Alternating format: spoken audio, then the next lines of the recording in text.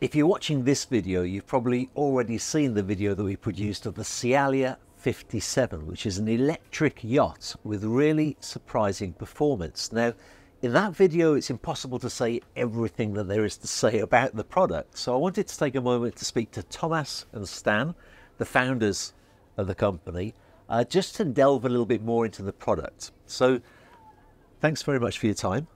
Thank you very much. Let's start with your backgrounds, and I'll start with you, Thomas. What, what in the partnership, what do you bring to the party for the production of the yacht? So basically, I'm an aerospace engineer with background in engineering and design of sailing boats, and this is uh, that I graduated in uh, Warsaw University of Technology, but I've done as well master thesis in uh, famous Cranfield University in UK. So this is my my background in terms of uh, education. And from technical and uh, professional experience, I've been involved in numerous sailing boats, including racing boats, on design and engineering of advanced lightweight composite structures.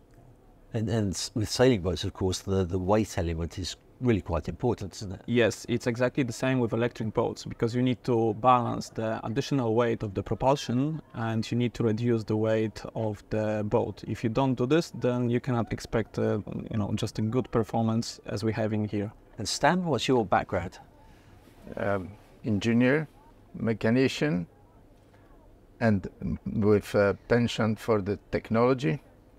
And the last 20 years in uh, e-mobility, a lot of uh, propulsion uh, work and a lot of development in uh, lithium-ion uh, storage systems. Uh, especially for heavy duty, which helped very much to build this uh, fantastic yacht.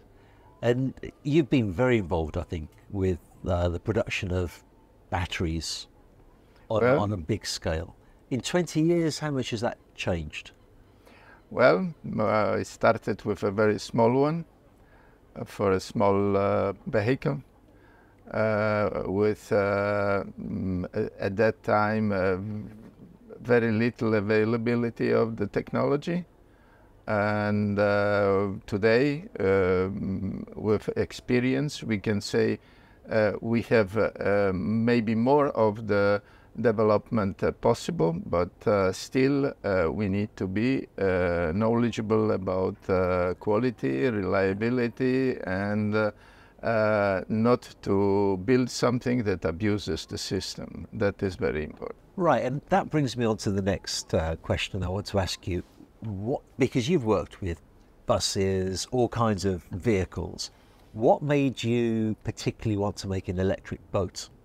Uh, well, coming from the experience with mobility on, uh, um, on wheels, uh, well, I'm, I'm, I'm a sales, salesman uh, I like uh, water and I hate uh, noise and smell at the uh, at the beautiful uh, water sightseeings like this. And uh, one day I had the idea to extend my experience on wheels to the experience on water. In fact, when you look at the e-mobility, uh, it is a question of uh, managing an electric platform, whether it is on wheels or whether it is on the water. The experience uh, gives you a possibility to go for it. Yeah. So who spoke to who first? Did you approach Thomas? Did Thomas approach you? How, how did that happen? Well, uh, it was me who started to investigate uh, the possibilities to make the uh, electric yacht. Uh, well, we crossed uh, Thomas uh, with when we were discussing electric um, catamaran.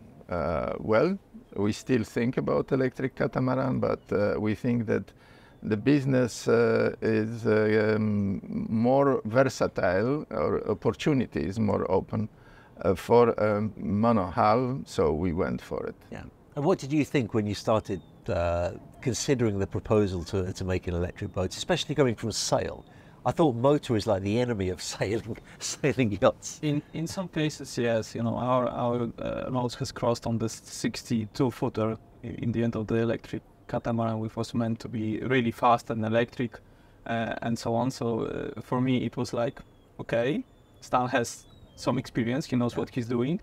Uh, I and I was involved in their own naval architecture and uh, structural engineering to make it Yeah. lightweight. Uh, and I was purely looking at this and at this project, and it was for me like, okay, really innovative. It took me a while actually to understand what this all is about, and I got a moment of uh, brilliance idea that actually it makes sense. So this is the moment when Stan has asked me, you know, Tomasz, actually I'm looking at the motorboat as well in the same time, and what do you think about this?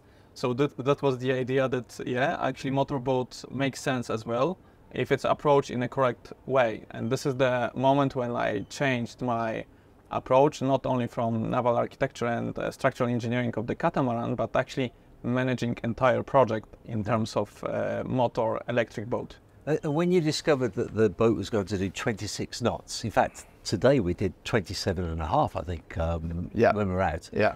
What challenges does that bring for the structure of the Well, uh, uh, m- m- maybe one very important thing before we go into the detail of the structure is that the initial brief of all our ideas about developing uh, uh, an electric uh, yacht was uh, that it has to be a real boat for a real user who is, uh, point one, not going to be a compromise. So we need a range and we need a good speed.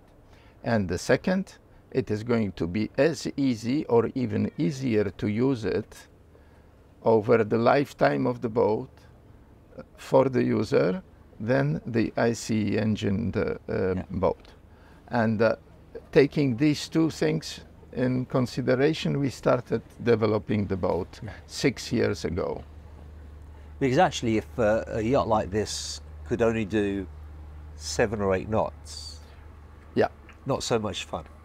This boat, uh, when it was out of the, uh, well, um, uh, um, uh, clean, out of the shipyard, uh, we made uh, 32 and a half knots because it was a light boat.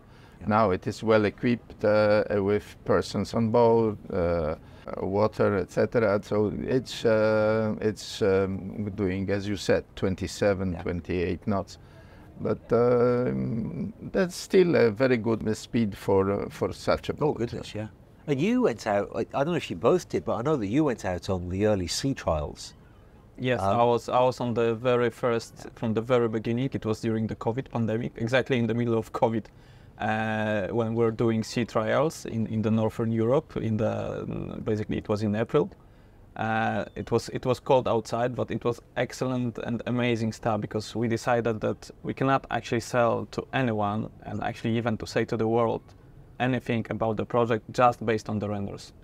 Simply because of Stan's experience with past projects, Yeah. how it went. There was always a prototype, especially in heavy duty industry, and always something was not working. In our case, we take extra care because it was so expensive for us to Yeah. develop and it took so much effort and time to build a boat that we decided to put the boat unfinished first on the water, Right. see and check the propulsion system, check the, all the safety features first.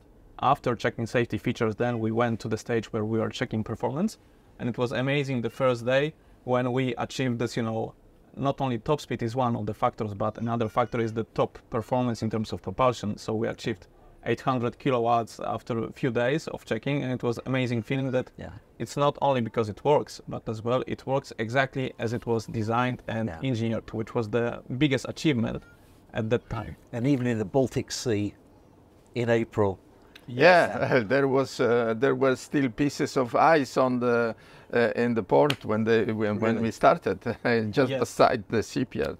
But uh, uh, amazing, amazing, uh, and I, I must say, from my ex- 50 years of developing products experience, this is the first time that uh, the prototype, let's say the the first number number one hull made exactly what we wanted, what we s- decided, uh, what we briefed yeah, as uh, as as a specification.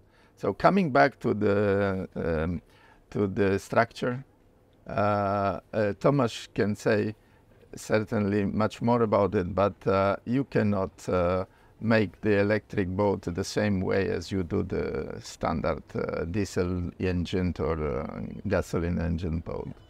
So maybe he tells you that the, this is not an easy story from Yeah. the beginning Sure. with the brief that we uh, decided to have. Yes, in, in general, you have uh, so many, so different components than you have on a normal standard boat, and in the same time, uh, because we have this extra weight, we need to uh, really think, and it's a entire project. It's a global optimization, really, of the uh, design brief performance that we want to achieve, uh, not to exceed something. So, in a normal uh, boat with diesel, it's relatively easy just to put bigger engine on electric boat you have no engines you have motors. Yeah. and to put bigger engine doesn't mean that you will use it because putting bigger motor means you need a bigger battery. Bigger battery you mean it means bigger cooling and so on and so on. Yeah. so it scales up quite quickly. So you need to be extra careful about what you put there how you put there how to connect all of the components uh, and really take care of the final output. So each time we were and there was several iterations over the project uh, doing the study, pre-study, preliminary, and then the call. Okay, let's build it. It will work. Yeah. Now, something I really want to dig into, and it's a delicate subject, but it's an important subject. Um, as you know, I have a YouTube channel. Some videos even get millions of views. Um, and whenever we talk about uh, electricity, whether it's hybrid, diesel electric, I often get comments from people who are very, very scared of batteries on a yacht. And you know, I, I watch uh, Sky News almost every day, and, and quite recently there was a lot of stories in the UK of electric scooters that would suddenly spontaneously set on fire. For people who have that concern for for a yacht, what how would you answer that concern?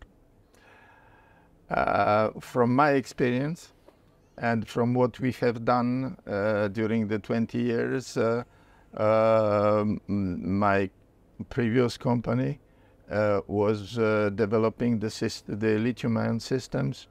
Uh, we equipped uh, uh, more than 1,000 um, buses in Europe or for European markets for public transportation. And I must say one clear thing if you design properly, develop properly the system uh, for storage of electricity based on lithium ion uh, technology, and you ensure that uh, by the systems uh, and softwares that you will be using, electronics and also analog uh, devices that permit you to prevent the abuse of the system, uh, which is very important. Stop uh, doing the things to the system which can create a problem.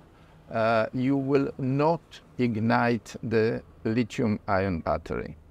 And the uh, thing is, uh, people uh, don't, uh, if, if you talk about scooters, about uh, um, kind of, uh, now we have this, mm, uh, some devices that are used also in marine, etc.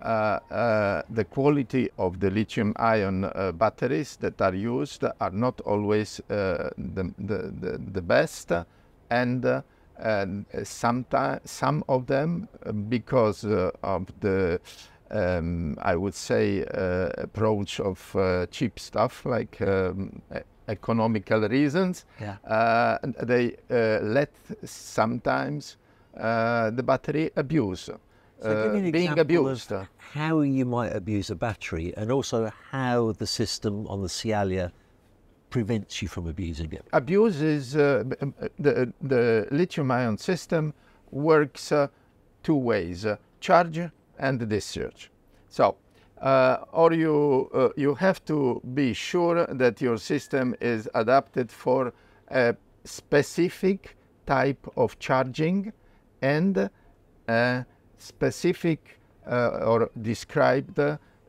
according to the specific spe- specification the discharge uh, application. So, if, uh, for instance, our system is uh, adapted for uh, high discharge rates and high charge rates, and uh, for that reason, uh, uh, we have a possibility to run this boat on full power only on the batteries for a certain period of time and after that the system will uh, degrade the, the uh, power, uh, the, the, the, discharge power. Right. so you will not be able to abuse by discharging too much yeah. while you are discharging the battery and the capacity of the battery with the discharge is going slowly down. Yeah.